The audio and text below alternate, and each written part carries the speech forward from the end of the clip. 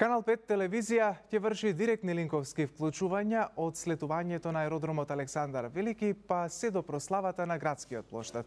Ќе има и отворена програма во која ќе гостуваат познати и признати лица од спортот. На аеродромот Александар Велики е нашиот колега Крсте Гелески. Го вклучуваме во вестите. Крсте на аеродромот се очекува во секој момент да пристигнат ракометарите. Каква е атмосферата? Новите спортски герои, ракометарите на европскиот шампион Вардар. Со мене овде на аеродромот Александар Велики, каде што може да видите атмосферата е прекрасна, веќе се пристигнати неколку илјадници навивачи на Вардар и поддржувачи на македонскиот ракомет, е председателот на женскиот ракометен клуб Вардар Гордана Нацева, нашата прославена репрезентативка, која беше во Келн директен сведок на историскиот успех на Вардар. Ќе ја запрашаме како помина извонредниот викенд во Келн. Што да ви кажам, тоа беше една еуфорија, еден а, прекрасен настап на нашиот тим за тој а, историски викенд во, во Келн, значи два извонредни надпревара против два а, гиганта Јас знам да кажам во светски рамки за тоа што замислите да е ова во фудбалот, што се што значи да се Барселона и Пари Сен Жермен ги елиминираш гигантите светски практично тие се секција од нивните клубови, така да се надам дека некојаш и Вардар фудбал тоа ќе го доживее. Меѓутоа како и да е, беше гордост да се биде дел од да се биде македонец таму, да ја представ, да ја представуваме Македонија и да конечно го освоиме европскиот ракометен врв. Ова е успех кој а, кој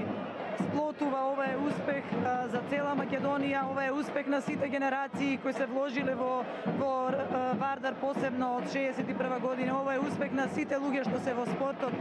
И се надевам дека дека нема да чекаме 15 години од еден до друг успех, мораме да се фокусираме што следи понатаму да правиме стратегиски планови и во Вардар и во останатите спортови. Меѓутоа денеска е денот да ги пречекаме нашите херои кои во 24 часа успеа да го направат она што со години го го чека нашата држава и се надевам дека дека цела македонска јавност ќе ужива во, во моментите бидејќи ние сме мала држава, но заслужуваме радост и апсолутно. А идевте чекор по чекор. Дали да коментарите знаат што ги очекува во Скопје?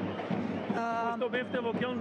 Да, знаете како многу брзо се шири информацијата со модерната технологија, тие се свесни зашто и верувам дека во одредена мера се свесни што што може да очекуваат некои од нив имаат можеби во, во нивните национални селекции доживеано, меѓутоа јас верувам дека познавајќи го нашиот народ, познавајќи познавајќи го а, колку почитуваат успех, се надам дека ова ќе биде нешто недоживеано што тие ќе го имаат во нивните спортски кариери и дека ќе имаат еднаш за секогаш во во нивните мисли и во нивната меморија дека а, она што го доживеале во Македонија на 6 јуни ќе им остане во цел живот, за цел живот и ќе го паметат како е нешто уникатно. А, одевте чекор по чекор да речеме, јас извадив статистика дека во Лигава шампионите годинава Вардар има само 4 порази.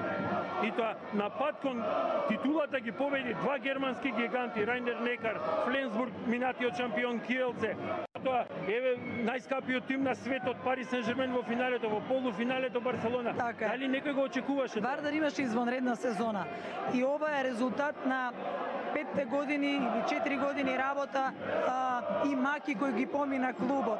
Секогаш бевме толку близко, а не успеавме три години да се пласираме, да го поминеме последниот чекор.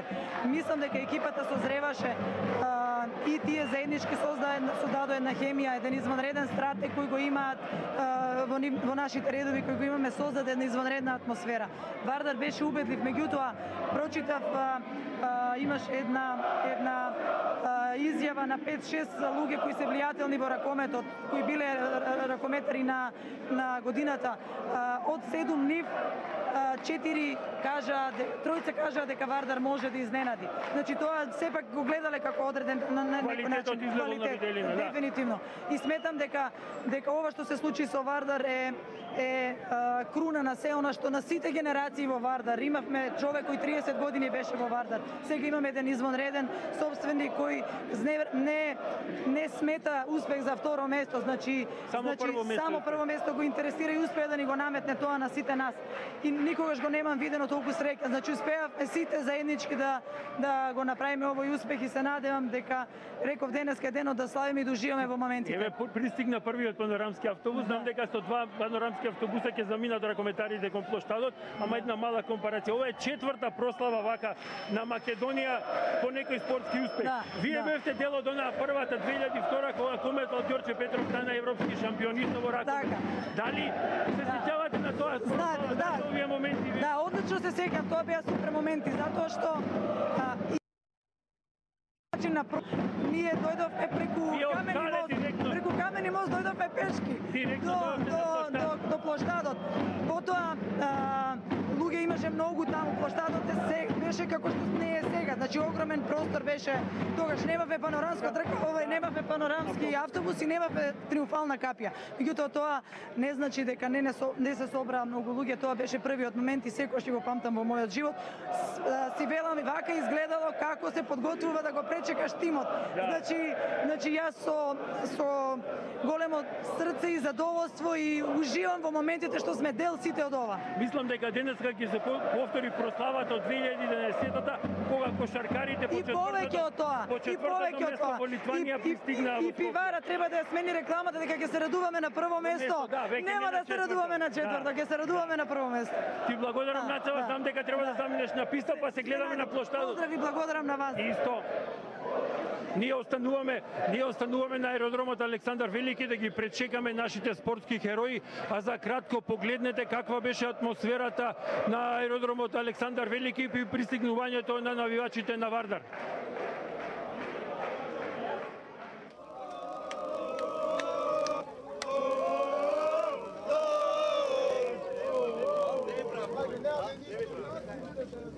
Vai,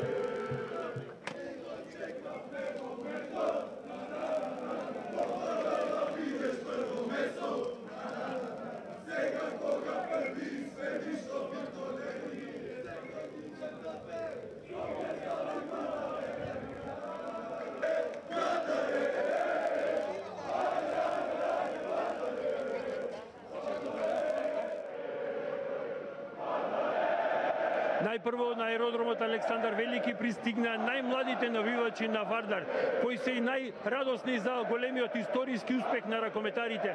Погледнете што кажаа тие за какви со какви очекувања ќе ги дочекаат ракометарите на Вардар на аеродромот. Тоа е историја. О историја што се надеваме дека ќе се повтори, ама тешко, ама битно е историја направивме. Не, шампион!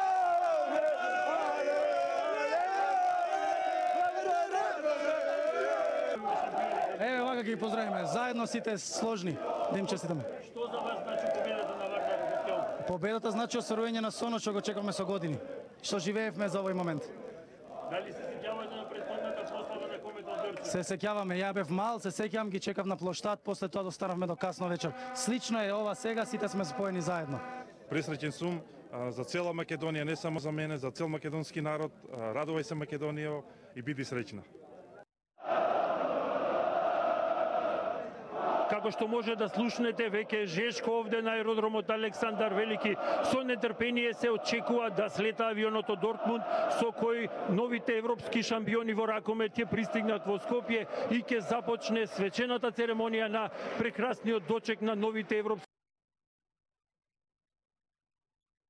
кога ќе влезат во аеродромската зграда, ќе се качат на двата панорамски автобуси и ќе заминат во Скопје. Инаку, како што можев да забележам, овде во одборот за дочек на ракометарите се директорот на Агенцијата за млади и спорт, потоа првиот човек на ракометната федерација, Живко Мукаетов, тука е и градоначалникот на Скопје, кој е всушност и доматин на ова на овој дочек на ракометарите на аеродромот Александар Велики. Затоа сега ќе ве поздравам од овде и ќе ги очекувам ракометарите кога ќе имаме и ново вклучување директно од аеродромот Александар Велики.